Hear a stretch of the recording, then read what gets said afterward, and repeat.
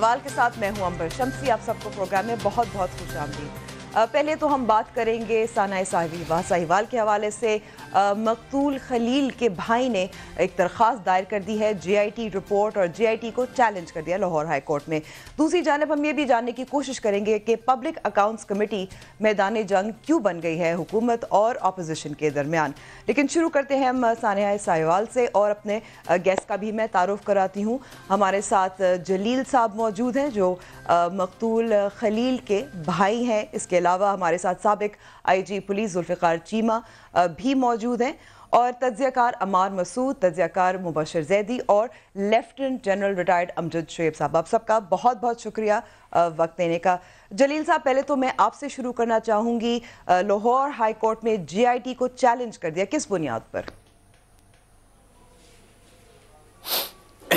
जी, हमें जीआईटी पर अतमाद नहीं क्योंकि वो फैसला सही कर नहीं सकेंगे क्योंकि वो अपने बेटी भाइयों को बचाने में लगे हुए हैं। तो ये केस ख़राब कर रहे हैं इंसाफ नहीं दिला रहे। जी। आ, लेकिन दूसरी जानब जब जेआईटी की इब्तदाई रिपोर्ट आई थी तो आपके भाई खलील उनको बेगुनाह करार दिया था तो अब भी आपको एतमाद क्यों नहीं है? जी अभी तक किसी ने कोई ना रिपोर्ट दी है हमें ना कोई अतमाद में लिया जा रहा है। तो हमारा यही मुतालबा है कि अदालती कमीशन बने और दूध का दूध और पानी का पानी हो। तो ये तो रात दो बजे कभी कमीशन का मुतालबा तो अपनी जगह है। दूसरी जानब जी जी जे आई टी अभी मजीद जो तहकीकात हो रही हैं उसमें शनाख्ती परेड का भी मामला है। दो रोज़ से इनकारी है वहाँ जाने से। वजह क्या है? जी क्यों हम जाएँगे? वो तो केस हमारा ख़राब कर रहे हैं। बजाय उसको हमें इंसाफ दिलाने के, वो शवाहिद जो उधर से मिलने थे, उसको भी ज़ाया किया जा रहा है, टेम्परेट की जा रही है। तो ये तो हो रहा है हमारे साथ, और उधर से रात दो बजे, तीन बजे, चार बजे आ रहे हैं नोटिस लेके, ये करें, वो करें जहनी टैचर किया जा रहा है। बजाय कि हमारे साथ कोई कोऑपरेट किया जाए कोऑपरेट नहीं किया जा रहा है हम इसको, इस जीआईटी को रद्द करते हैं। हमें सिर्फ़ तो सिर्फ़ अदालत किस किस्म के किस किस्म के सबूत और शवाहद आपके ख्याल में ज़ाय किए जा रहे हैं? कोई मिसाल दे सकते हैं? दे, देखे ना पहले तो जैसे इन्होंने डेड बॉडियों के साथ किया है कि सात घंटे के बाद डेड बॉडियाँ हमें दिखाई गई हैं। उनसे कैसा सलूक किया होगा ये हमें नहीं पता। क्या किया होगा हमें नहीं पता। तो वो अभी तक देखें गन्ने नहीं उन्होंने दी। खोल तो दे दिए हैं गन्ने नहीं दी गई। तो इससे आप खुद ही अंदाज़ा लगा सकते हैं कि ये किस तरफ़ रुक जा रहा है। बजाय हमारा साथ देने के वो उनको ही पेटी भाइयों को बचाने में लगे हुए हैं। ऐसा तो एक ये भी सवाल पूछा जा रहा है जो जो ऐसा इन्होंने किया है। और ये भी बार बार सवाल पूछा जा रहा है क्योंकि जीशान, जिसको कहा जा रहा है कि उसका ताल्लुक मुबैना तौर पर दहशत गर्द तंजीम दाइश से है। आपके भाई और आपकी सिस्टर लॉ जो हैं, उनके हमरा कैसे थी? ताल्लुक के बारे में भी सवाल किए जा रहे हैं। देखे ना, आप जो मर्ज़ी चाहे बना ले। ठीक है, पहले इन्होंने क्या कहा था? अगवाकार हैं। फिर इन्होंने कहा दहशतगर्द हैं। फिर इन्होंने कहा, और हैं, कुछ और हैं। देखिए, एक बयान पे तो रहें। ये बयान बदलते ही बदलते बदलते ही बदलते जा रहे हैं। ये तो सवाल मुझे इनसे करना चाहिए ना, कि ये हमारे साथ कर क्या रहे हैं, हो क्या रहा है? ये उल्टा हमें ही जहनी टार्चर कर रहे हैं। जी। ठीक है ठीक है। बहुत शुक्रिया। हमारे साथ जुल्फ़िकार चीमा साहब भी हैं। जुल्फ़िकार चीमा साहब गलती कहाँ से हुई है? क्योंकि आज जो कुछ सीटीडी के एहलकारों का जो रिपोर्टेडली इतलात हैं कि उनका कहना है कि तबादले की वजह से फायरिंग की गई थी।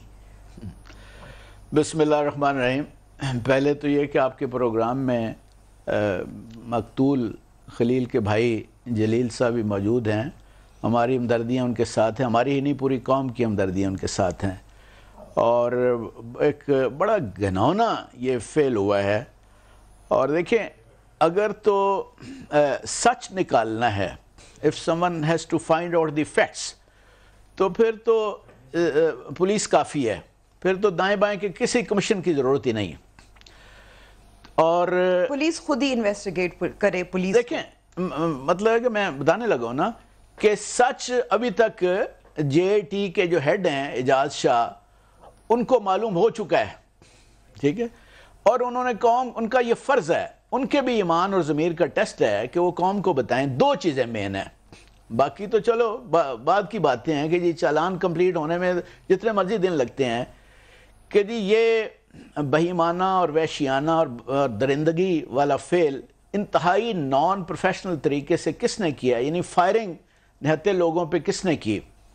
आपने भी एक की बात की, चलें फ़र्ज़ किया एक के बारे में अभी वो एविडेंस कलेक्ट कर रहे हैं, मगर ये तो तमाम तर मान चुके हैं ना, उन्होंने एडमिट किया है कि खलील और उसकी फैमिली बिल्कुल बेगुनाह थी।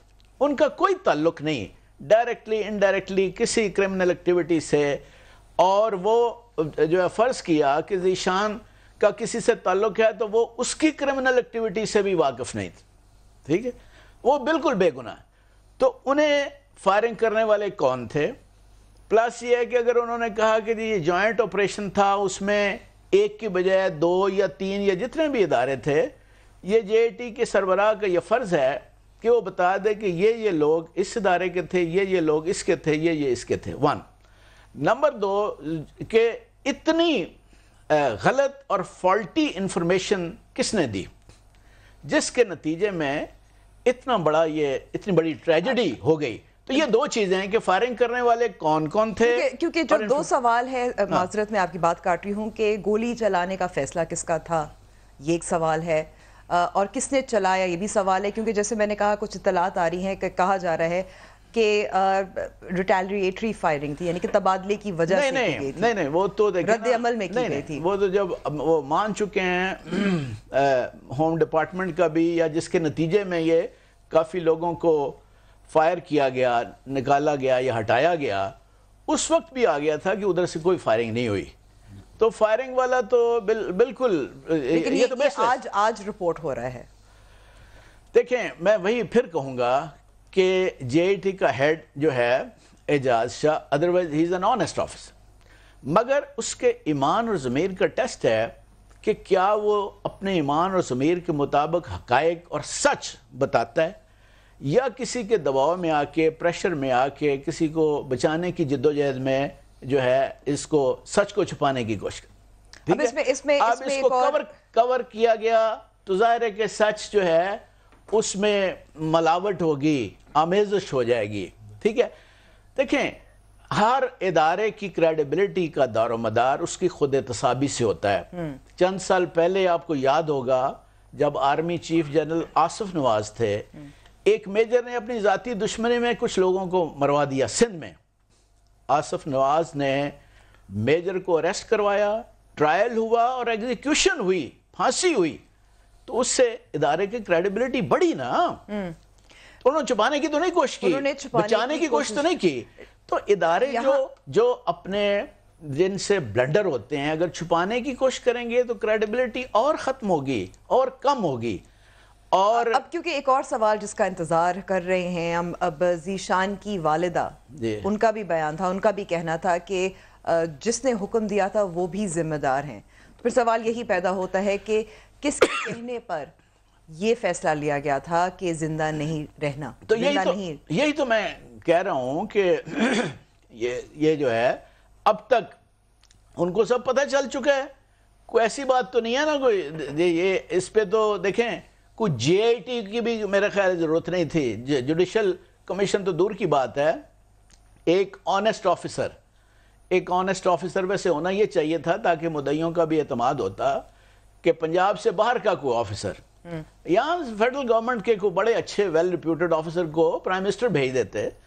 तो वो उसकी इंक्वायरी करके और दो दिन में सारे के सारे गायक कौम के सामने आ जाते। कोई इस तरह की लंबी चौड़ी इसमें तो कोई बात ही नहीं थी। कोई छुपी हुई बात ही नहीं थी। लेकिन इसके साथ जुड़े हुए और बहुत सी चीज़ें हैं। आपके पास है वक्त? सवाल मेरा पूछना चाहती जब ऐसा ऑपरेशन होता है इंटेलिजेंस बेस्ड ऑपरेशन होता है कि एसओपीज क्या होते हैं? देखें बात यह है मैं उस पर भी आता हूँ। हर जगह मुख्तलिफ़ चैनल्स पे गए हैं लोग बात करते हैं कि ये इस तरह क्यों होता है और क्यों ये कैसे इसका इरादा इसकी रिकरेंस को किस तरह रोका जा सकता है। फिर वही बात आती है कि आम आदमी किस तरह की पुलिस चाहता है?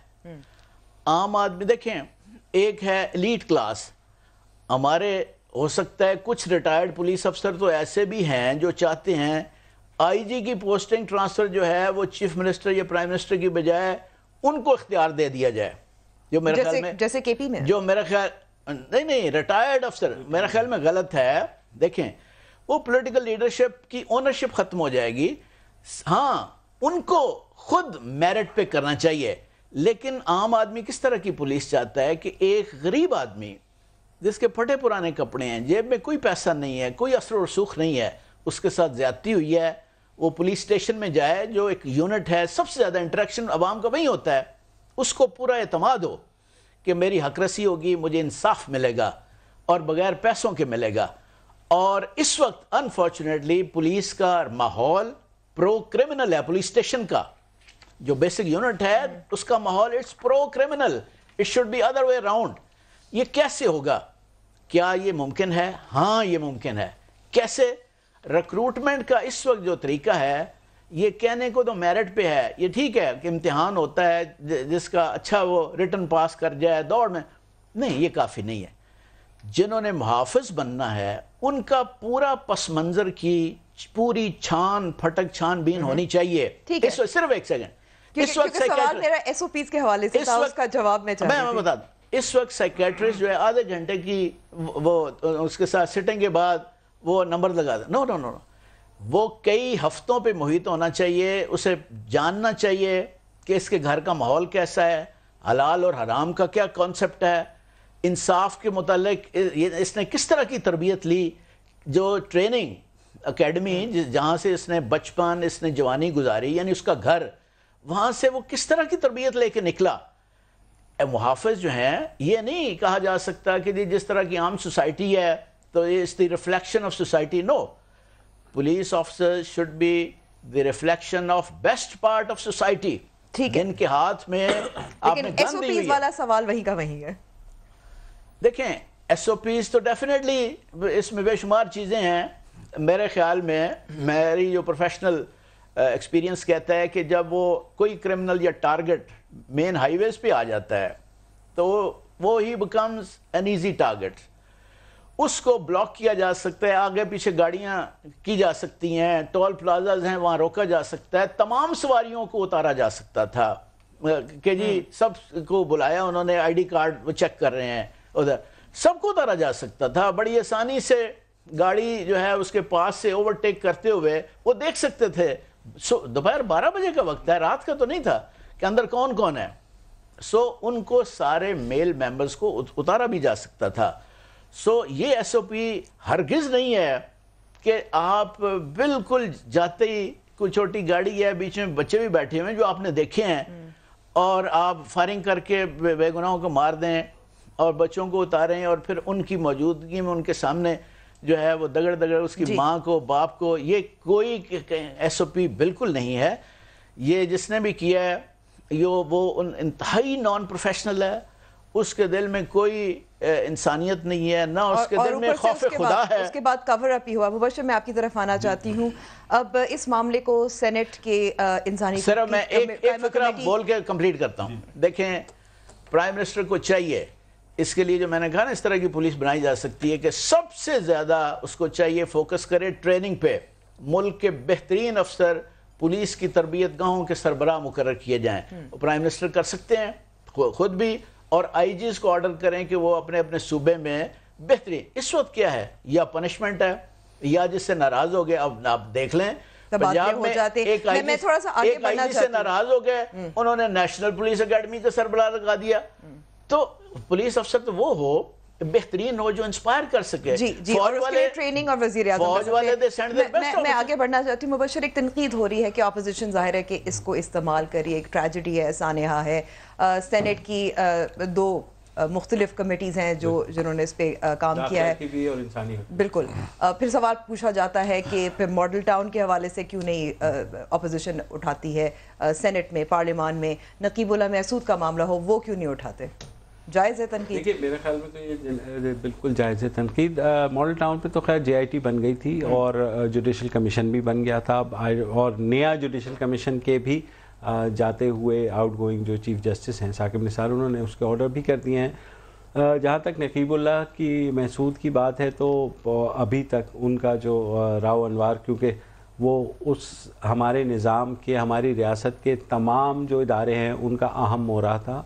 वो सियासी मोहरा भी था वो कब्ज़ा माफिया का मोहरा भी था वो इंटेलिजेंस एजेंसीज का मोहरा भी था। तो वो तो मेरा ख्याल में अब देखें कि उम्मीद तो यही है कि आठ फरवरी को जब उनकी ज़मानत की तोसी का मामला आता है तो अदालत क्या व्यू लेती है? लेकिन ओवरऑल खलील मरहूम के जो भाई हैं उन्होंने बिल्कुल सही बात की कि जिस तरह से इन्होंने बयान बदले हैं आप ये देखें कि कल एडिशनल होम सेक्रेटरी ने इंसानी हकूक़ की कमेटी को बताया कि जी एफआईआर में 16 लोग थे लेकिन जो कि गलत है वो असल में छः लोग थे जिसमें एक एसएचओ और पाँच अहलकार थे। तो ये एक मेजर शिफ्ट आया है एफआईआर से लेकर के अब तक।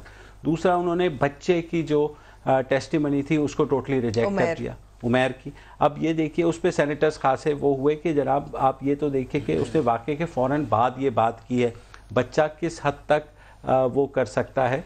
लेकिन अब वो बच्चे का वो, बयान भी तो बिल्कुल हाँ नहीं कर वो बयान भी नहीं ले रहे। शनाख्त परेड का अब फैमिली यही कहती है कि जनाब जब पुलिस को पता है कि कौन पाँच लोग हैं तो फैमिली क्या जाके शनाख्त परेड करेगी? क्योंकि एतबार भी उठ गया है जैसे बार बार कह देखे ना तमाम बालेग लोग जो उस गाड़ी में थे हम्म। वो तो मारे गए। ठीक है बच्चे बच्चों के दो बच्चों को गोली लग गई। एक बच्ची जो बिल्कुल ही माइनर थी। अब अगर आप एक्सपेक्ट कर रही है कि उन्होंने हर अहलकार को देखा है और उस तरीके से हो सकता है माँ बाप ने उन्हें छुपाया हो या जिस तरह से वो बचे हैं तो अब फैमिली को आप कह रहे हैं कि नहीं, आप आएँ और शनाख्त परेड करें। तो फैमिली का बिल्कुल जायज़ मुतालबा है कि इसको देखा जाए कि क्या है। फिर जो इनिशियल सीटीडी ने जो फाइनल इसके ऊपर अपनी रिपोर्ट दी थी जो मीडिया में भी जारी की गई उसमें ये कहा गया कि it was a joint C T D I S I operation तो इसका मतलब यह है कि आई एस आई की कम अज़ कम इंटेलिजेंस तो थी। आ, कोई अगर उस आ, उन लोगों में आई एस आई वाला था या नहीं था वो तो ज़ाहिर है अभी डिटर्मिन होना बाकी है। लेकिन जैसे चीमा साहब ने बात की कि वो बेस जो थी वो एक इंटेलिजेंस थी जो कि आईएसआई के पास से आई। और जिस तरह हैंडल मिस हैंडल किया गया। अब आ, हमारी भी बात हुई जब आई में तो उन्होंने कहा कि जी हमने सिर्फ़ और सिर्फ़ मॉनिटरिंग का कहा था बियॉन्ड दैट हमने नहीं कहा था। हम्म। हमने कहा था कि ये सस्पेक्ट है he is he has some suspected links और लेकिन जो जो कुछ सीटीडी ने किया वो दे वेंट ओवरबोर्ड और सीटीडी खुद भी एक्सपेक्ट एक्सेप्ट कर रही है इस चीज़ को कि हाँ हमसे गलती हो गई खलील की। मगर वो बजिद हैं कि जीशान जो है वो दहशत गर्द एक और एक और जो ब्रीफिंग जो दी गई थी उसमें एक और पॉइंट था और मैं चाहती हूँ हम जब शोएब साहब भी गुफ्तु में शामिल हो। ये मामला ये बताया गया था एडिशनल होम सेक्रेटरी पंजाब ने कि अफ़गानिस्तान से कॉल आई थी और बातचीत हुई थी जीशान भी उस कॉल में था। लेकिन दूसरी जानब सेनेटर तलहा ने कहा कि पीटीए ने सेनेट को ब्रीफिंग दी गई है को दी थी कि अफ़गानिस्तान से कॉल्स अब ब्लॉक्ड हैं नहीं आ सकते। रहीम। देखिए, जहाँ तक कॉल का ताल्लुक है, वो तो मुझे अंदाज़ा नहीं, लेकिन मैंने बात डॉक्यूमेंट्स देखी हैं, क्योंकि मुझे अंदाज़ा था कि ये मुख्तलिफ़ प्रोग्राम्स में मुझसे भी ये क्वेश्चन पूछा जाएगा। तो जीशान वाला तो किस्सा नज़र आता है कि वो एक मशकूक आदमी था, उसके कुछ लिंक्स नज़र आते हैं, जो मैंने चीज़ें देखी। लेकिन इसका हरगिज मतलब नहीं कि आप जब किसी को ऑपरेशन जब करते हैं तो दूसरी साइड से जब रिटेलिएशन नहीं होती तो आप फायर नहीं कर सकते। क्योंकि हमेशा सस्पेक्ट को ज़िंदा पकड़ना आपके लिए ज़्यादा मुफीद होता है, क्योंकि उससे आपको नेटवर्क की इंफॉर्मेशन मिलती है, आपको उनका जहाँ जहाँ वो ऑपरेट करने के लिए प्लानिंग कर रहे थे, वो आपको पता चलता है। कभी भी कोई अदारा ये नहीं चाहता कि किसी भी शख्स पे अगर शुबा है तो उसको मार दिया जाए। मारने से तो आपका इंटेलिजेंस का सारा खजाना जो है वो दफन हो जाता है। यहाँ पे जो सूरत हाल नज़र आती है वो ये है कि रिटेलिएशन गालिबन दूसरी तरफ़ से कोई मजामत नहीं की गई। कोई हमें ऐसा शवाहिद नहीं नज़र आते कि कार में बैठे हुए लोगों ने कोई मजामत की, जिसकी बुनियाद पे आपको ज़रूरत पेश आई कि आप फायर करें। यह तो बिल्कुल एक बचकाना सा खेल नज़र आता है। इसमें कोई प्रोफेशनलिज्म नज़र ही नहीं आता कि लोग ट्रेंड हो एक रेड के लिए और वो इस तरह का जाके काम करें। जहाँ एक जिसमें सस्पेक्ट जो सस्पेक्ट है वो भी गया और बा, बाकी आपने उसके साथ बेगुना लोग मार दिए और ज़रूरत इसकी कतन नहीं थी जैसे अभी चीमा साहब फरमा रहे थे कि गाड़ी रोकी जा सकती थी। गाड़ी आप कहीं भी रोक के उसके बहुत सारे ज़रिए हैं सड़क पे वो डबल रोड है और आप वन वे ट्रैफ़िक है आप उसको रोक सकते हैं। रोक के तो उसमें से सारे लोगों को उतार के उनसे उनको चेक किया जा सकता था, उनको थाने ले जाया जा सकता था। लेकिन यहाँ कोई ऐसा अमल नहीं नज़र आता। यूँ लगता है कि बगैर किसी वजह के स्ट्रेट अवे फायर कर दिया गया। एक तो ये इशू है। लिहाजा जो जो शवाहद हमें नज़र आते हैं, वो आज जो बयान सामने आ रहे हैं, उससे यूँ लग रहा है कि उससे मुनहरफ हो रहे हैं लोग, और वो उनको बदला जा रहा है, कोई लेपापोची हो रही है इस किस्म की, जिससे कि इस केस को कमज़ोर कर दिया जाएगा। अब असल किस्सा सारे में जो मैं समझता हूँ, जिन लोगों के अज़ीज़ कारब चले गए, जैसे अभी ये खलील साहब ये जमील साहब या जो भी ये बात कर रहे थे, खलील के भाई, ये खानदान है जो कि मुतासरा खानदान है, और हर लिहाज से जो कुछ भी किया जाए, इनके इतमान के मुताबिक किया जाना चाहिए, क्योंकि मुतासरा खानदान अगर आज शकूक को शुभात ज़ाहिर कर रहा है जी आई टी पे या किसी भी और तहकीकत पे तो वो काबिल कबूल नहीं होगी। और अगर खानदान कबूल नहीं करेगा तो आवाम भी कबूल नहीं करेंगे। लिहाजा ये बहुत ज़रूरी है कि जो उनकी मंशा है, अगर वो समझते हैं कि हमें जुडिशल कमीशन ही बनाना चाहिए तो मेरा ख्याल है हुकूमत को उसमें कोई लातोलाल नहीं करना चाहिए जुडिशल कमीशन बनना चाहिए। इसके अलावा आपने देखा मैं, मैं यहाँ आपको रोकूँगी मैं चाहती हूँ अमार साहब भी जुडिशल कमीशन बनना चाहिए। साहब जुडिशल कमीशन तो जुडिशल कमीशन बनवाना चाहिए। से आया और ज़ाहिर है जो मुख्तलीन के वर्षा हैं उन्होंने भी इसका मुतालबा उस पर भी कायम है। जुडिशल कमीशन बनना चाहिए। देखिए इस सूरत हाल को ज़रा आगाज़ से हम देखते हैं, फिर उसके बाद जुडिशल कमीशन पे बात करते हैं कि जिस बहीमाना तरीके से सरेआम एक बड़ी सड़क के ऊपर इंसानी जानों का नुकसान किया गया, उससे ज़्यादा हैबतनाक, खौफनाक और अफसोसनाक वाक़ नहीं हो सकता। इसमें वो जो ग्रीव्ड फैमिली है, उसके सारे कंसर्न जायज़ हैं। और जो अभी चीमा साहब ने और अमजद शुएब साहब ने गुफ्तु की, उसमें ये हमें पता चलता है कि बहुत सहूलत थी। अगर आप दो तीन बच्चों को उस गाड़ी से निकाल सकते हैं तो ालमों एक तेरह साल की बच्ची थी, उसको भी निकाल सकते थे। एक औरत शादी पे जा रही थी, उसको भी निकाल सकते थे। एक आदमी बिल्कुल बेगुनाह अपनी बीवी बच्चों के साथ शादी पे जा रहा था, आप उसको भी निकाल सकते हैं। हमें जो इतलात मिल रही हैं और जिससे आप सारे लोग भी वाकिफ़ हैं कि ये एक जॉइंट ऑपरेशन था। इसके अंदर दूसरी सिक्योरिटी एजेंसीज भी शामिल थी। हमने माजी में देखा है, जब इस तरह की सिचुएशन पैदा हो जाए तो बेशक आप इस पर जे बनाएँ, अदालत में बुला लें सेनेट में बुला लें, बहस करवा लें जुडिशल कमीशन बना लें, इस तरह के मामला हल नहीं होते। ये एक मौका पाकिस्तानी कौम के पास, पाकिस्तानी सियासतदानों के पास, इस पार्लियामान के पास और इस मुल्क के अवाम के पास बड़ा क्लियर आया है। इट्स ह्यूज ट्रेजिडी लेकिन इस ट्रेजिडी का बेनिफिट हमें यह होना चाहिए कि हम कोई भी तरीका इख्तियार करें, लेकिन उस ग्रीव्ड फैमिली को तसल्ली के हिसाब से इंसाफ दें। और इससे सबक भी सीखें। अगर पुलिस के निज़ाम में खामियाँ हैं और कोई शख्स हुक्म देता है कि आप किसी बेगुनाह को गोली मार दें तो उस निज़ाम को भी ठीक करना चाहिए। अगर आपको कोई इन्वेस्टिगेटिव एजेंसी गलत इतला देती है तो उसके ऊपर भी बात होनी चाहिए। ये सारा सिस्टम इतना तकलीफ़ देह हो चुका है कि लोग अब पुलिस से खौफ ज़दा रहते हैं। जो चीमा साहब ने बात की, पुलिस आपकी दोस्त होनी चाहिए।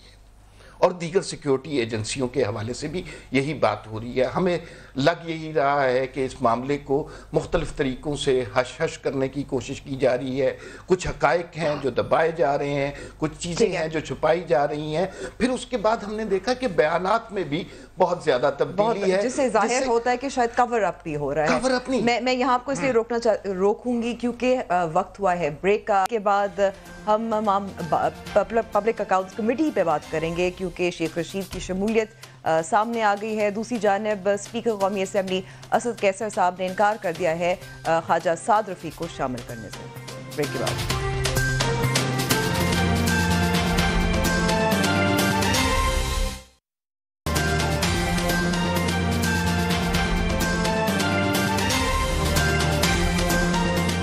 Welcome back to the show वज़ीर रेलवे शेख रशीद साहब ने पब्लिक अकाउंट्स कमेटी में शमूलियत के हवाले से अ, क्या कहा? सुनते हैं फिर इस पर बात करेंगे।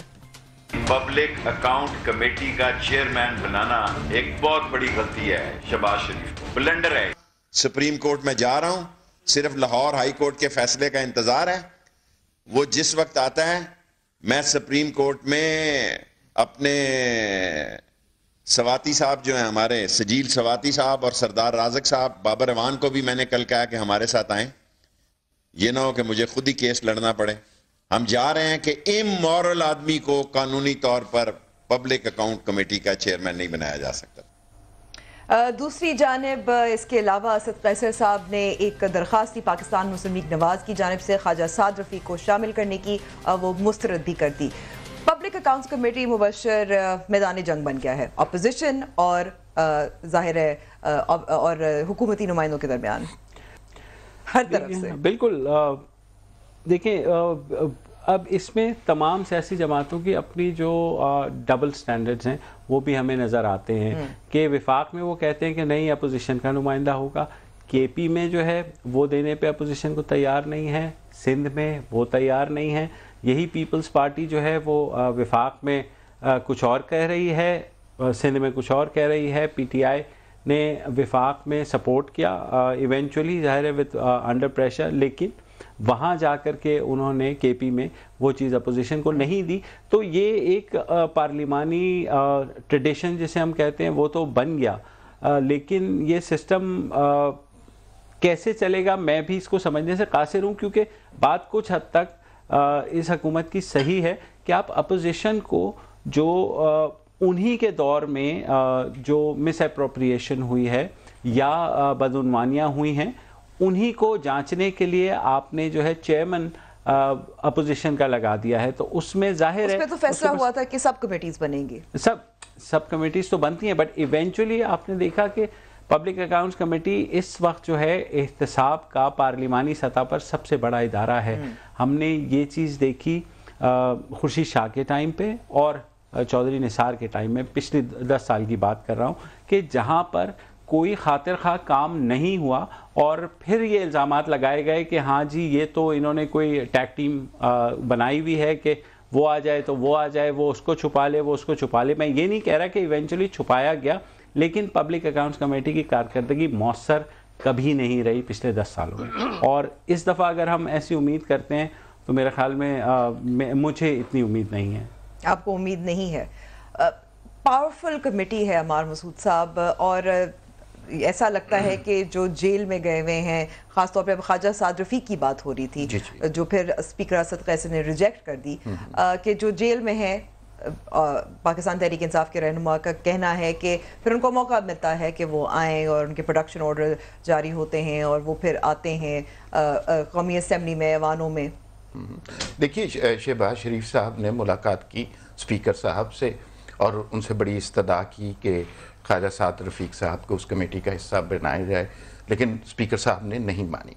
इसी तरह शेख रशीद साहब जो बयान दे रहे हैं, ये अरशद वहीद चौधरी साहब की खबर है जियो के रिपोर्टर हैं और उन्होंने बताया है कि शेख रशीद साहब की भी बात मानी नहीं गई। वो भी उनके मेंबर नहीं हो गए। जहाँ तक बात है कि ख्वाजा साद रफ़ीक को आपने भी बात की कि वो बाहर आ जाएँ और ये वो। ये जो करंट सिस्टम है ये जो करंट डेमोक्रेसी है इसमें हमें वो सारे एलिमेंट नज़र आ रहे हैं जो किसी आमरीत के दौर में नज़र आते हैं। वही सारा सिलसिला है। आप मुखालिफ सियासी जमातों को सियासी क़्यादत को इंतकाम का निशाना बनाते हैं उन पे करप्शन कुफ्र और गद्दारी के इल्ज़ाम लगाते हैं उनको जेलों में बंद कर देते हैं उनके बाहर निकलने पर पाबंदी कर देते हैं। लेकिन पाकिस्तान तहरीक इंसाफ का दावा यह है कि ये तो केसेस इससे पहले उनकी हुकूमत से आने से पहले शुरू हुए थे। हाँ लेकिन वो जो अब जिस तरह नैब एक्टिव हुआ है ना उसके बारे में भी बड़ी ये दलील दी जाती है कि ये चेयरमैन नैब भी तो उन्होंने ही लगाया था ना। तो देखिए ये कोई दलील नहीं है इस सोसाइटी में। ज़ियाउल हक को किसने लगाया था? मुशर्रफ को किसने लगाया था? तो ये इम्पोर्टेंट नहीं होता कि किसने किसको अपॉइंट करवाया है। उस शख्स का कंडक्ट क्या होता है, जब वो कोई अपनी पोजीशन पे होता है और फैसले कर रहा होता है। अभी हमें ये बहुत सहूलत नज़र आ रही है और पीटीआई का नरेटिव ही ये रहा है कि आप, ये सारे लोग करप्ट हैं और इन्होंने लूट के खरबों रुपया अभी तक दरियाफ्त कुछ भी नहीं कर सके, कुछ भी नहीं मिल सका। कभी वो 300 अरब का नारा लगा देते हैं कभी किसी और चीज़ का, और ख्वाजा साद रफ़ीक, शहबाज शरीफ और जितने भी करप्ट हैं, इन्हें मुखालिफ जमातों में नज़र आ रहे हैं। इनकी अपनी जमातों में जो लोग हैं, नैब उनके हवाले से जितनी सहूलत के साथ, आहिस्तगी के साथ चल रही है, उसके बारे में कोई बात ही नहीं करता। वज़ीर दिफा पे हमारे देख लीजिए। वज़ीर दिफा हैं, और उनके ऊपर जो इल्ज़ाम हैं, क्या उन्हें इस तरह जेल में डाला गया है? शहबाज शरीफ को तो इंक्वायरी की बेस पे आपने जेल में डाल दिया ना वज़ीर दिफा के हवाले से कोई कुछ कह रहा है? किसी एक बोल- बात बोलिए, बोलिए। जी। वज़ीर दिफा तो हमेशा बेचारे जेल में ही होते हैं। वज़ीर दिफा खुद कुछ नहीं कह सकते कभी भी। लेकिन ये लेकिन ये ये देखिए पब्लिक अकाउंट्स कमेटी जो है वो तो ज़ाहिर है वो एक हकूमती इदारों में जो करप्शन हुई है उस हवाले से होता है। तो it's not about the other way मैं मैं uh, खुद समझता हूँ कि विच हंट क्या है जो नैब कर रही है नैब पे हमेशा इल्ज़ाम भी लगते हैं। लेकिन पब्लिक अकाउंट्स कमेटी ये तो वो हकूमती प्रोजेक्ट्स हैं या हकूमती एक्सपेंडिचर है जो कि गुज्तर दस सालों में या पाँच सालों में लगा और उनका ऑडिट होता है और ये कहा जाता है कि जनाब यहाँ यहाँ यहाँ कौमी ख़जाने को नुकसान इसमें एक आ, आपकी बात बिल्कुल बड़ी होती है और मैं आपकी बात से इतफाक भी करता हूँ। देखिए आप बिल्कुल सही कह रहे हैं कि वो हुकूमती प्रोजेक्ट की एवेल्युएशन होती है उसकी मॉनिटरिंग होती है। लेकिन इसे भी इंतकाम का ज़रिया बना दिया गया आपने अपनी सवाल में क्या बात की कि साद रफीक एक दिन के लिए बाहर आ जाएँगे अगर उनका प्रोडक्शन क्या हो जाएगा भाई? क्यों नहीं बाहर आ सकते? तो ये इस पे बात वही आती है कि चाहे मसला करप्शन का हो चाहे पब्लिक अकाउंट्स कमेटी हो चाहे कोई भी इस हुकूमत का फैसला हो अल्टीमेटली उसके पीछे सियासी इंतकाम ही नज़र आता है जो कि मुल्क के लिए जमहूरियत के लिए सियासत के लिए कोई अच्छी बात नहीं है। अमजद शोएब साहब सियासी इंतकाम आमरीत का दौर जैसे होता है वैसे ही है? अ, नहीं मेरा ख्याल है एक फ़र्क ज़रूर मौजूद है और वो मौजूद है आपकी पार्लियामेंट की शक्ल में। पार्लियामेंट जो है वो आज किसी एक आदमी को जवाबदेह नहीं है उसकी अपनी एक इंडिपेंडेंट राय है और ख़ास तौर पे आज की पार्लियामेंट जहाँ आपकी अपोजिशन बहुत मज़बूत है और वो अपने मामला भी डिक्टेट कर रही है। ये डिक्टेशन का ही नतीजा था कि शबाज शरीफ साहब जिन पे बेशुमार इल्ज़ाम हैं करप्शन के वो इतना एक बद अखलाक काम हमने कर लिया कि जिन पे इल्ज़ाम हैं उन्हीं को बिठा दिया कि अब आप ही सारा कुछ देखिए। तो ये तो दुनिया में मैंने नहीं देखा कहीं और आज पाकिस्तान के बहुत सारे लोग इस चीज़ पे नाला भी हैं कि ये क्यों किया गया। और अब जैसे अमार कह रहे हैं, मेरा ख्याल है जिन जिन पे इल्ज़ाम हैं उन सबको इकट्ठा करके इस कमेटी में लाना चाहिए, साद रफीक के पीछे रह जाए, उसको भी लेके आए।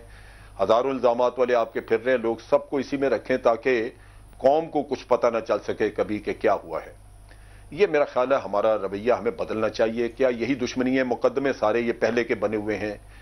आप अगर शहबाज शरीफ साहब का कोई किस्सा नहीं है, कोई उन्होंने किया तो अपने दामाद और बेटे को क्यों भगाया हुआ है बाहर? आप और मैं जानते नहीं है कि यहाँ पे एक कतरा साफ़ पानी का नहीं निकला, वो छप्पन कंपनियाँ पैसे खा गई। ये सारी चीज़ें मौजूद हैं।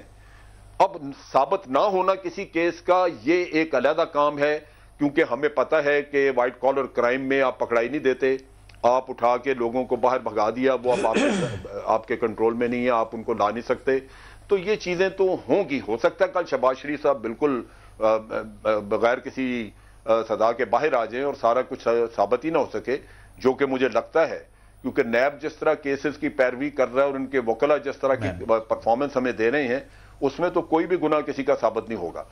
लेकिन इन चीज़ों के कता नज़र कुछ इखलाक तो कायम रहना चाहिए कुछ हमारी क्रेडिबिलिटी तो एज ए नेशन कायम रहनी चाहिए कुछ आपकी पार्लियामेंट की क्रेडिबिलिटी रहनी चाहिए सामने कि आप जिन लोगों पर इल्ज़ाम आते हैं वो खुद ही कम अज कम अपने इखलाक का मुजाहरा करें और कहें नहीं जी जब तक हम क्लियर नहीं हो जाते हम नहीं बैठेंगे नोटों पर तीन सेशन पार्लियामेंट ने तय किया सिर्फ़ इस मुताले पे और वॉकआउट कर करके कि जी हमने ये बिठाना है हर हालत में शबाज शरीफ साहब देखें। उनके बगैर भी कमेटी चल सकती थी ऑपोजिशन किसी भी और को नॉमिनेट कर सकती थी। ये तो कोई इतना बड़ा मसला नहीं है। अच्छा जी। इन चीज़ों की वजह से आपने किसी भी कौमी मसले पे बात नहीं की। बड़ा ही कोई नैब है। फ़िलहाल तो नैब ही है फ़िलहाल नैब या एफ़ आई ए मेरे ख्याल में इनके सरबराहों की तकर्री जो है वो जो मौजूदा सिस्टम है चाहे उसको आइन की अप्रूवल भी अब हासिल है कि लीडर ऑफ़ द हाउस और लीडर ऑफ़ द ऑपोजिशन वो मिल के बनाए। ये मेरे ख्याल में गलत है और इसकी स्पिरिट और, और रूह के खिलाफ है। फ़र्ज़ किया तो क्या होना चाहिए? मैं मैं बताने लगा फ़र्ज़ किया कि दोनों के खिलाफ और इस वक्त इतफाक से माजी में भी रहे हैं दोनों के खिलाफ कोई ना कोई दरखास्तें केस ये वगैरह वगैरह हैं। तो ये तो देखें चीफ इन्वेस्टिगेटर चीफ प्रोसिक्यूटर है फ़र्ज़ किया उनके खिलाफ इल्ज़ाम हैं तो वो अपना इन्वेस्टिगेटर और प्रोसिक्यूटर खुद ही चूज़ करें। नहीं ये उससे बाहर ले जाने की ज़रूरत है।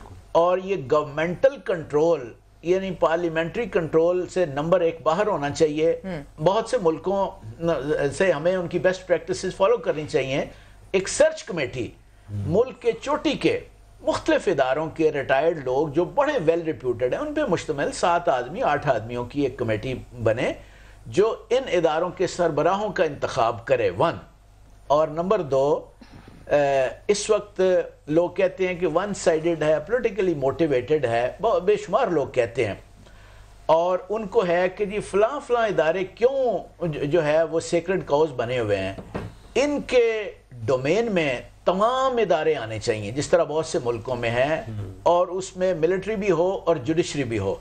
इस डोमेन में की गई थी सेनेट में कोशिश की गई थी लेकिन वो बात आगे नहीं वो बात बढ़ी। आगे ना बढ़ी तो अलग बात है क्योंकि कुछ पार्टियाँ अपनी कमजोरियों की वजह से डर गई या कोई जो भी हुआ लेकिन मेरे ख्याल में अगर सही महीनों में एहतसाब होना है सही। तो एक तो गवर्नमेंटल कंट्रोल से बाहर हो। नंबर दो तमाम इदारे इसमें इसके डोमेन में शामिल हों। उनके बारे में भी किया जा सकते हमारे हमसाया मुल्कों की सीबीआई उनके बारे में भी इन्वेस्टिगेट करती है। हम्म। ऐसा तो नहीं हुआ। सेनेट में कोशिश की गई थी मुबशर, लेकिन दूसरी जानब अब पार्लियामेंट जो है, जिसमें रसाकशी नज़र आती है, अब मिनी बजट जो पेश हुआ था उस पर बहस हुए बगैर सेशन प्रोरोग हो गया। अच्छा उसकी वजह सिर्फ़ ये थी कि किसी तरीके से लीडर ऑफ़ अपोजिशन को वापस जेल में भिजवा दिया जाए, क्योंकि प्रोडक्शन ऑर्डर जारी हुए विच इज़ टोटली इमेच्योरिश आप, क्योंकि फाइनेंस बिल आपने दिया है पार्लियामान ने उस पर बहस करनी है। आज नहीं करनी अगले सेशन में कर लेंगे लेकिन वो बहस तो होनी है। तो मेरे ख्याल में ये जो चूहे बिल्ली के टॉम एंड जेरी चल रहा है वो उसको थोड़ा सा हुकूमत को भी होश के नाखून लेने चाहिए साथ ही अपोजिशन को भी ये बात समझनी चाहिए क्योंकि हमने कई जगह देखा कि अपोजिशन और हुकूमत ने स्पीकर साहब ने मीडिएट किया और चीज़ें बेहतर हुई। अब जो नई प्रपोज़ल आई है कि तमाम जो बड़ी पार्टीज़ के हेड के साथ मिल करके हम पार्लिमानी जो पार्लिमान में ज़बान इस्तेमाल होती है उसको हम चेक करें गैर पार्लिमानी ज़बान को तो एक अच्छी काविश है उस तरफ़। तो आगे चीज़ें बेहतरी की तरफ़ तो जा रही हैं, मगर प्रॉब्लम्स भी रहेंगी और आपको चीखो पुकार खैर ये सिर्फ़ पाकिस्तान की पार्लिमान नहीं है आपने देखा है बड़े अगर आप दूसरे फारिश कंट्रीज़ में तो कुर्सियाँ चल जाती हैं और बड़ी तुर्की में हुआ है और बड़ी जगह वो होते हैं तो वो अभी हम शुक्र है उस लेवल पे नहीं आए। शायद इस वजह से कि हमारे यहाँ बेंच हैं और कुर्सियाँ नहीं हैं कि वो उठाने में थोड़ा मसला होता है।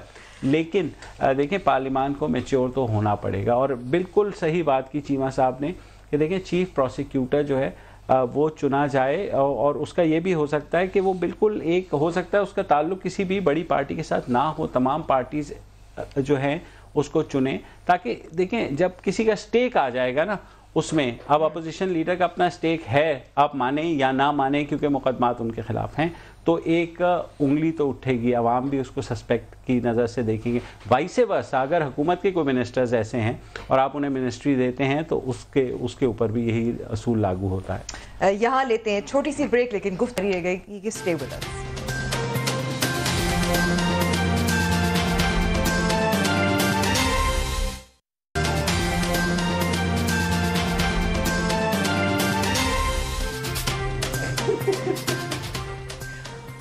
welcome back to the show Aman Masood साहब सबका एहतसाब बहुत अरसे से सुन रहे हैं। Uh, इस बार भी एक uh, जो uh, बातचीत हुई थी हुकूमत और पाकिस्तान तहरीक इंसाफ के रहनुमाओं के दरमियान के के एक एहतसाब के हवाले से एक डायलॉग होना चाहिए बातचीत होनी चाहिए। दूसरी जानब चीफ जस्टिस आसिफ सईद खोसा ने भी डायलॉग की तजवीज़ पेश की थी जो अभी तक आगे नहीं बढ़ी।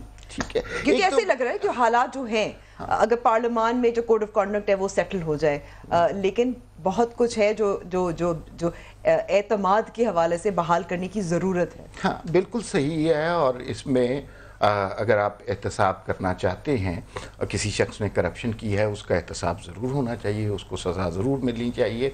लेकिन ये मुझे हैरत इस बात पे है कि ये तजवीज़ ऑनरेबल चीफ जस्टिस की तरफ़ से आई है। ये बुनियादी तौर पे पार्लियामान का काम है। जुडिशरी का काम ये नहीं है कि आप बाकी इदारों को या सियासतदानों के एहतसाब की इस तरह बात करें, या ट्रूथ एंड रिकन्सिलियेशन कमीशन की बात करें। ये पार्लियामेंट के जेर एहतमाम होना चाहिए। जो सारी डिबेट है ना उसका क्रक्स यही है कि हमारे लिए बड़ी सहूलत है सियासतदानों पे इल्ज़ाम लगाना। और ये हम रवायत बहुत अरसे से देख रहे हैं और इसकी इसका कोई तोड़ हमारे सामने नहीं आ रहा। सियासतदान ही वोट लेके आम आदमी के पास जाता है उसके साथ उसका रबता होता है फिर वो असम्बली में आता है और फिर हम उसकी उसको रुसवा करते हैं। हम माजी में ये देखते हैं कि बहुत सी गलतियाँ सियासतदानों की तरफ़ से भी हुई हैं। जमहूरियत के खिलाफ इकदाम भी सियासी जमातों और सियासतदानों की तरफ़ से हुए हैं। लेकिन इस गुफ्तु का कतन ये मतलब नहीं है कि बाकी सारे इदारे मावरा हैं इस चीज़ से। हमने सियासतदानों में एक अपने वज़ीर अजम को फांसी पे चढ़ा दिया, एक को दस साल के लिए भेज दिए, मुल्क से बाहर भेज दिया। मोहतरमा बेनज़ीर, भुट्टो शहीद हो गए। लेकिन उसके साथ साथ जब हम दूसरे इदारों की बात करते हैं, जो कि गवर्नेंस में, हुकूमतों में और पाकिस्तान की तारीख में बड़े फाल रहे हुए हैं, उनके एहतसाब की बात नहीं होती। कभी आपने सुना किसी जर्नैल को एक रात जेल में गुजारनी पड़ी, किसी जज को सज़ा हुई और उसको सज़ा भुगतनी पड़ी? तो ये कोई अच्छा निज़ाम नहीं है। अगर एहतसाब सब के लिए नहीं होगा तो फिर वो इंतकाम कहलाएगा। और ये जस्टिफिकेशन काफ़ी नहीं है कि हमारा अपना एक एहतसाब का निज़ाम है।